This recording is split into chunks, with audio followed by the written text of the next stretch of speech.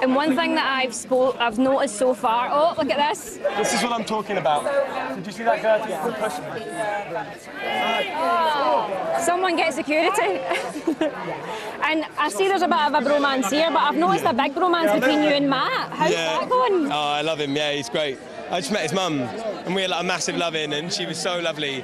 And Rhys is here, which is a shame for everyone. Um, yeah, no, it's, it, Matt's amazing. And what was it like getting into battle with Matt? So much fun. I every day. I, I hope I fight him every day. I'm ready for it.